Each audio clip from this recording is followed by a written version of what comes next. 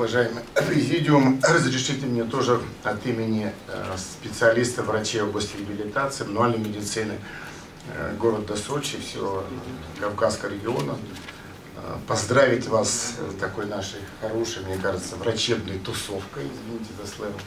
Вот это большое счастье, когда есть возможность поделиться своим опытом, э, рассказать о тех интереснейших э, исследованиях, которые вот уже сейчас прозвучали, я думаю, что еще прозвучат. Вот. Что касается моего доклада, следующий слайд. Следующий. Вот. Тут хоть и написано в санаторно-курортном лечении, ну, я думаю, мы все понимаем, находимся мы на курорте, находимся в городе, в деревне. Я не знаю, если даже нас э, и на Марс куда-нибудь забросят, все равно мануальная терапия будет она такая, как и, как и везде, она будет одинаковая, особо большой разницы не будет. Зависит все от контингента только пациентов. Следующий слайд. Будьте добры. Все, не отвлекай.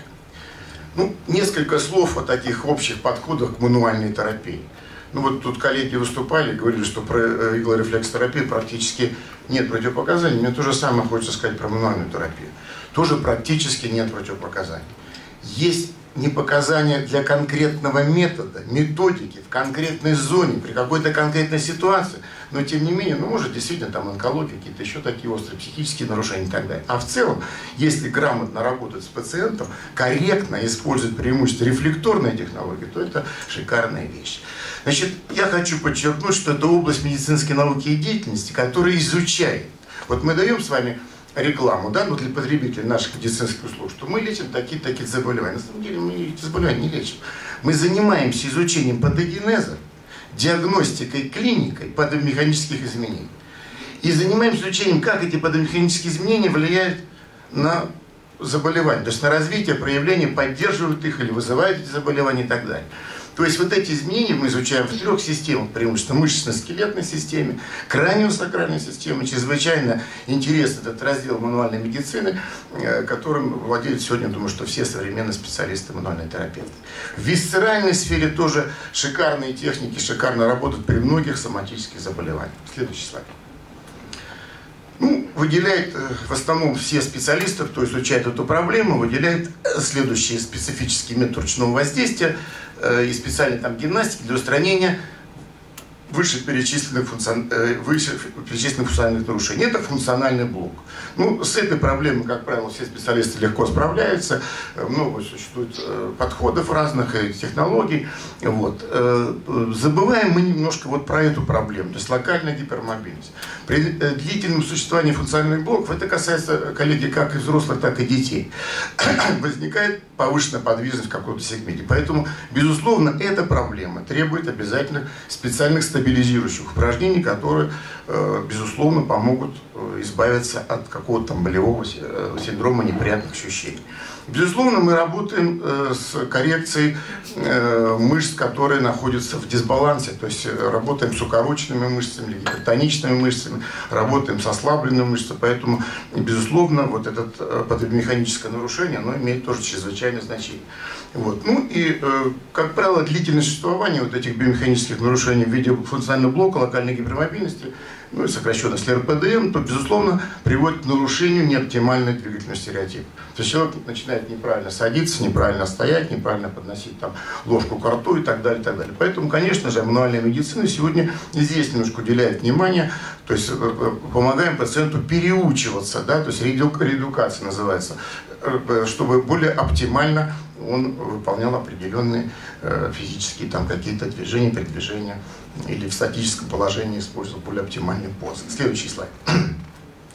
Ну, хочу подчеркнуть, коллеги, что объектом и предметом изучения медицины является э, э, обратимые функциональные перестройки. Чтобы не складывать впечатление, там какой-то синостоз – Э, или там другие конвалесценции, мануальный терапевт начинает там воздействовать, тем более без каких-то, может быть, снимков и так далее. То есть только функциональные нарушения, обратимые вот эти перестройки, они подлежат сегодня, опять же, той же корректной мануальной терапии. Следующий слайд. Ну, э, в основном, так скажем, э, мануальная медицина современно выделяет четыре вида вот этой мануальной терапии. Кожно-подкожно-фасциальная, артровертебральная, висцеральная и краниальная терапия. Ну, э, я хочу тоже подчеркнуть, Светя, хочу сказать, что очень часто врачи, э, изучающие эту проблему, занимаются проблемой, забывают о проблемах, которые возникают в коже. То есть вот эти зоны гиперстезии э, при различных, это, безусловно, травматических ситуациях имеют колоссальное значение вот в системе вот этих механизмов образования болевого синдрома. Поэтому вот тут тоже можно очень много полезного сделать для наших пациентов. Следующий слайд. Ну и вот э, вы знаете, коллеги, что очень много существует э, различных техник, методик, технологий, сейчас очень модно так говорить мануально. И вот мы пытались вот как бы немножечко систематизировать эти знания и э, предлагаем вот наш такой классифицированный, который, я думаю, что нам в жизни будет очень полезно. Вот, то есть попытались эту классификацию построить, построить по виду методического приема, по объекту воздействия, по характеру воздействия, по силе воздействия, что тоже очень важно, об этом я несколько слов чуть ниже скажу, и по направлению движения. Следующий слайд. Если говорить о скелетно-мышечной системе и говорить, если о пальпаторных техниках, то, безусловно, мы используем давление, прессуру, компрессуру, там, по типу, по принципу массажа шацу, используем сжатие, растяжение локальное, релизинг, фасилитация. То есть это возбуждение расслабленных структур определенными ритмическими воздействиями. Ну, мы говорим о мануальной терапии, потому говорю руками, хотя можно немного использовать аппаратных технологий. Следующий слайд. Говорить о таком методе известном, как мобилизация, то есть какие-то повторяющие воздействия, то можно говорить о мобилизации как механического характера, да? что сегодня, подчеркиваю, все меньше и меньше используется. Или биомеханического э, характера, коль мы говорим о человеческом теле. Вот. Это пассивно-активное движение. Безусловно, чрезвычайно полезная тракция, чтобы разгрузить, если мы говорим э, позвоночник, разгрузить диски, э, немножко устранить там спазмы, места прикрепления мышц, связок и так далее. Специальная коррекционная лечебная гимнастика, но это больше всего относится, как подчеркиваю, к проблемам коррекции мышечного дисбаланса. Вот это переучивание, о чем мы уже говорили, да, позиционное растяжение – стабилизация при локальной гипермобильности или аутостабилизация, что потом будет делать э, сам пациент уже, соответственно, в домашних условиях. Ну и, безусловно, мануальная терапия предусматривает какие-то советы, то есть мобилизацию определенных воздействий, чтобы человек повторял определенные упражнения уже в домашних условиях. Только хочу сразу сказать, что вот э, как бы не, не нужно пациента загружать огромным количеством э, упражнений. Во-первых, он это делать однозначно не будет. Вот. А если будет то делать это, как правило, плохо и не часто, хотя нужно, безусловно, убеждать. Поэтому мы, как правило, назначаем 3-5 упражнений, выбираем самые главные, которые будут решать принципиальные там какие-то вопросы, и это э, действительно будет очень важно. Следующий слайд. Э, вот хочу остановиться, может быть, чуть-чуть подробнее о э, технологиях нейрорефлекторного характера. Безусловно, что работая с телом, мы не должны как бы э, работать сам по себе врач, сам по себе пациент. Это должна быть единая система. То есть мы должны любую технику использовать, чтобы получать биологическую обратную связь. Как реагирует ткань. Это может быть и словесное уточнение, что чувствует пациент, но и главное руками. То есть научиться руками разговаривать с тканью. И хочу подчеркнуть, что вот эти все техники требуют очень корректного, мягкого подхода. Мы должны помнить, что сила противодействия – всегда равна силе действия. То есть чем сильнее мы воздействуем, чем организм будет сильнее сопротивляться. Это естественно. Поэтому вот эти технологии, безусловно, сегодня являются передовыми, то есть релаксация, расслабление, позазиметрическая релаксация, когда мы включаем функцию мышцы, затем примерно 7-10 секунд, затем растягиваем ее. Постизометрическая релаксация антагонистов, когда мы пытаемся обмануть эту укороченную мышцу, включаем сначала антагонист, потом расслабляем, растягиваем агонист, который имеет проблему укороченности там, или гипертоничности. Вот эта вот технология посредственная релаксация тоже интересна, она пойдет по принципу ПИР тоже, но только потом вторую фазу пациент сам тянет мышцу и тянет так, чтобы действительно ему было это комфортно, и, и безболезненно или, или малоболезненно. Вот. Э, что касается э, проблем дисбаланса ног, то есть очень часто там возникают такие мощные гипертонусы, э, поскольку ноги и область таза испытывают наибольшие нагрузки при нашей жизнедеятельности. Поэтому очень часто помимо укорочения мышечных волокон возникает укорочение фасциальных структур. Поэтому вот эта технология, она действительно предусматривает более активное, сильное растяжение ну и э, более активно сначала идет э, сокращение этой мышцы, тоже просим пациента порядка 14-20 секунд сокращать мышцу, а потом мы уже растягиваем. Но это чаще такие методики приходится использовать у спортсменов, кто очень много нагружает свои ноги. Безусловно, вот эта технология мышечно-фасциальный релиз, вот в моей монографии это все очень подробно изложено, практическое руководство, используется очень широко. И как раз вот этой техникой мы никак не можем навредить. Мы можем не получить какого-то эффекта, но совершенно поверьте, что можно работать как на поверхность, так и на глубокий структур. Можно уходить прямо в сустав этой технологии, или там э, фасеточный сустав позвоночника и так далее. Очень шикарно эти техники работают у новорожденных и маленьких ребятишек. Вот э, тоже несколько слов хочется сказать о технике мышечного веретената неврологами и другими специалистами функциональной диагностики было доказано, что если растягивать брюшка мышцы, то есть э, врач растягивает э, пальцы в противоположном направлении, то мышца будет усиливаться. То есть слабую мышцу можно привести в состояние улучшенного тонуса.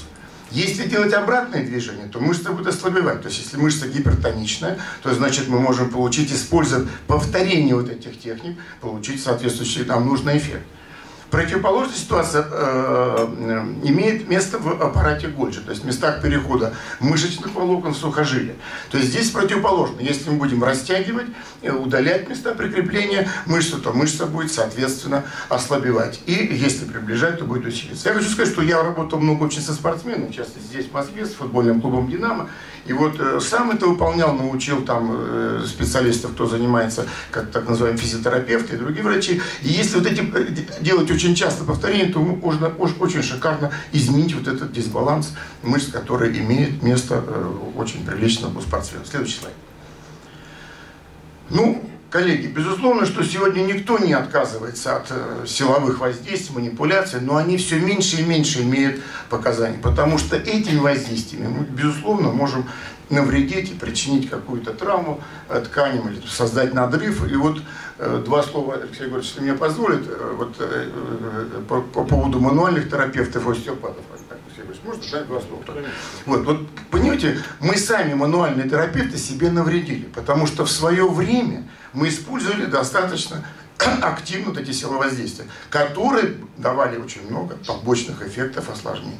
Остеопатия сегодня лечит, может быть, она и лечит бестолково, не без эффекта порой, но очень корректно, мягко, ни один пациент вам не скажет, что ему стало э, плохо. Ну или это найдутся только такие единичные воздействия. Поэтому толчок, традиционный толчок и удар, безусловно, должен иметь строгие показания. Ну, скажем, например, замороженное плечо да? когда нет э, болевого синдрома, но есть выраженное ограничение. Ну почему бы не поколотить по этому плечу? Шикарно растягивается капсула. Но я вот хочу сказать, у меня была ситуация, когда, ну, сакроэлит мы называем, да, или артроз крестово-подвздошной линии, когда так хотелось поколотить, тоже, опять подчеркиваю, монографии описанной техники, я все-таки решил сделать рентген. Миллиметр или два миллиметра оставалось, огромная саркома сидела в этом, в крестце. То есть было страшно, если я бы ударил, представляете, к чему бы это все привело. Ну и, безусловно, очень здорово и грамотно использовать комбинированные техники. Следующий слайд. Что касается висцеральной системы, безусловно, тоже есть э, определенная специфика этих техник. Вот, хочется остановить вот на такой технике, как индукция – то есть это сдавление органа. Ну, наверное, вы все знаете, что органы имеют э, природой данные колебания свои. Эти колебания могут быть изменены в связи с тем, что если это полуорган, где имеются мышечные волокна, э, создастся какая-то проблема по, по, по типу триггерного зона или нескольких зон, да, и он не так будет активно вращаться. Или это возникает э, спайки, то есть неосубстрат, не имеющий ничего общего с, к спаечной болезни. Так вот, если вы это определите, что нарушена перемещаемость, смещаемость этого органа, да еще при его перемещении мы получим рисунок боли, который беспокоит пациента, то, безусловно, мы просто можем прижать этот орган, потом отпустить, и он начнет более активно работать. Ну, как примерно, когда мы ныряем, да, какое-то время мы находимся под водой, вы ныряем, и наша диафрагма, все это, все начинает какие-то микроспайки, они все уходят. Но хочу сказать, что очень много проблем вот этого неосубстрата внутренних органов. Причем это касается и детей. Тут уже другой разговор, какой механизм образования их. Вот. Ну, безусловно, техники локального давления в полых органах тоже будет очень тоже очень интересно. Ну и вы знаете значение, роль в вертебровисцеральном взаимоотношении. Проблема позвоночника, будет проблема внутренних органов. Если первично возникает проблема в висцеральной сфере, то, безусловно, так или иначе это отразится на фиксациях тех сегментов, которые анатомически, физиологически связаны с этой структурой. Следующий слайд. Методика релаксации укороченных связок тоже так же. Связочные волокна, э, это, связки имеют синтеткальные волокна, где очень много эластических волокон, включая даже, и вы знаете, есть связки, где есть мышечные волокна. Поэтому, безусловно, методики растяжения, они тоже работают. Не так, конечно, безусловно, активно, как э, на мышечных структурах, но тем не менее. Стимуляция расслабленных связок. Вот интересная вот эта техника отдачи Лерибаума на, на выдохе пациент максимально делает выдох, только начинает выдох, вы немножко толкаете органы, и тоже орган начинает более активно работать и выполнять свои природой данные функции. Мобилизация органа. Ну, очень редко, крайне редко используется манипуляция. Ну, вот я не знаю, Алексей Егорович, знаешь, что тут господин Агулов, такой у нас специалист, да, обжимание. Хоть, он, хоть он не имеет отношения, я так понимаю, к медицине, да, в прямом смысле, он же не доктор. Ну, да, нет. Вот. Но вот он в свое время так навредил своим технологиям, что эти все ударные обстукивания, колотения этих органов, то, конечно, даже мне знали, какой-то был период, что в Москве запретили висцеральную терапию. Был такой период? Нет, нет, не запретили. Ну, по крайней мере, очень много было негативных моментов, которые совершенно, думаю, нам с вами не нужно. Следующий слайд. Что касается краниальной системы, тут тоже есть специфические методы. Я позволю себе не останавливаться на этих технологиях. Они тоже вот описаны в руководствах многих специалистов, в том числе и в моем практическом руководстве. Э, вот. Но тем не менее, хочу только сказать, что очень много ценного можно сделать для всего организма, если мы улучшаем мозговое кровообращение, используем техники, улучшаем движение ликора спинномозговой жидкости. То есть это шикарно. Но тем более мы знаем о связи креста, то есть копчика с э, черепом, то есть посредством твердых мозговых оболочек. Тоже проблемы в тазе, они отражаются, отразятся на вот этом дыхании, колебании головы, которое примерно происходит каждые 3 секунды. За счет природы данной функции глии, которая каждые примерно 3 секунды сжимается, растягивается. Это дыхание возникает как насос, который нужно, чтобы приток был артериальной э, крови, отток венозный, приток ликвора, который уносит уже отработанные там шлаки всевозможные. И любые удары, э, э, ушибы, конечно, могут привести, ну тоже вот сотрясение. Что является субстратом сотрясения? Я думаю, мало кто может сказать, а я хочу сказать, что это является фиксацией в швах черепа. То есть нарушается этот ритм, когда мы один-два сеанса проводим, все головные боли, в общем, моментально уходят, не надо никаких таблеток и так далее. И очень шикарный